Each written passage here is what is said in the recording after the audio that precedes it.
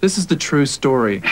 True story. Seven strangers picked to live in a loft. and have their lives taped. To find out what happens. What? When people stop being polite. Could you get the phone? and start getting real. The real world.